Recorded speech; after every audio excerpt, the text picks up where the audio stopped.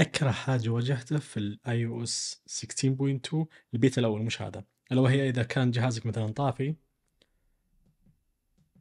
وتبي تصور صورة سريعة بتروح كذا تبي تصور. طيب صورت وخلص تصوير ما تقدر تطلع من الشاشة. ما في خيار الخروج بعد ما تفتح هذا الشكل. السلام عليكم. فتضطر إنك تسكر الشاشة مرة ثانية. هذه الحركة Apple حلتها الآن أخيرا. فالآن لو تروح حق المكان هذا حق التصوير بتصور طلع لك الخط هنا في ال... هذا لأن البيت الثاني هنا لأن البيت الأول ما في ذا الشيء. فالحين بنشوف بعد ما نحدث الجهاز هنا نجرب. بعد التحديث راح نجرب نفس الحركة وبتشوفون كيف تنحل هنا. المهم.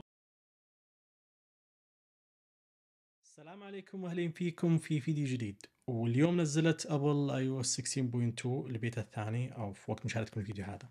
فكبداية أول حاجة مثل ما نشوف من البيتا الأول للبيتا الثاني هذا الحجم مثل ما نشوف. النسخ اللي نزلت معنا الآن مثل ما نشوف ال iOS 16.2 البيتا الثاني في النهاية A ال iPadOS اللي راح نزله الآن هذا هو.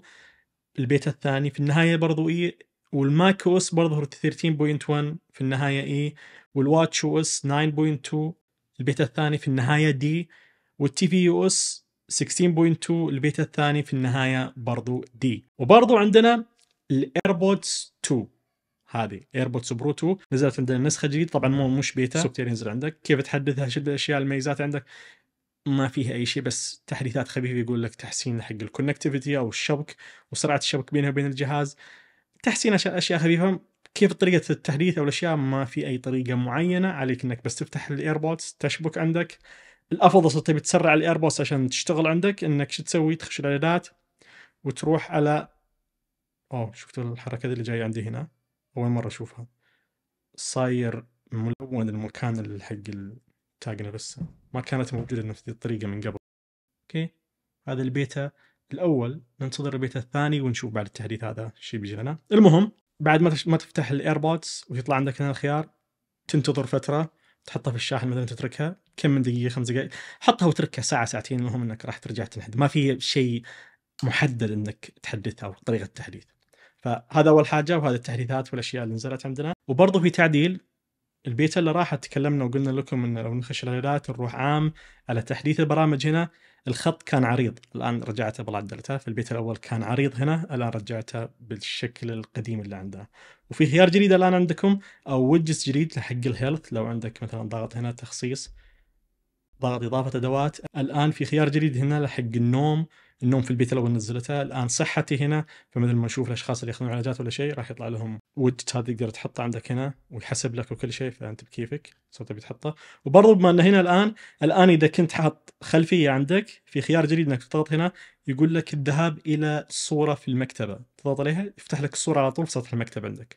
فهذا خيار جديد برضو عندنا هنا. وال Live Activity لو نخش الاعدادات تكلمنا في البيت الأول انه في Live Activity في ال TV. لو نخش الآن ضافت أبل زيادة أشياء فالتلفزيون لو نخش هنا لو بنشوف الأنشطة الحية مثل ما نشوف كان فاضي في البيت الأول الآن البيت الثاني حطت لك أشياء أبل هنا. يقول لك انها more frequent updates راح يأثر على البطارية والأشياء ذي. فأنت بكيفك لو بتشغلها تكلمنا عنها في البيت الأول أوكي؟ نرجع معاكم بعد ما تحدث الجهاز هذا لل iOS 16.2 البيت الثاني. مثل ما نشوف. لو نفتح الجهاز نفتح برنامج Freeform ف... أوكي. الآن راح نشوف ال sync أو المزامنة بين الأجهزة. هذه كانت في مشكلة في البيت الأول. راح نشوف الحين معاكم. مساحة الحرة نفتحها. نجرب مثلا صفحة ثانية.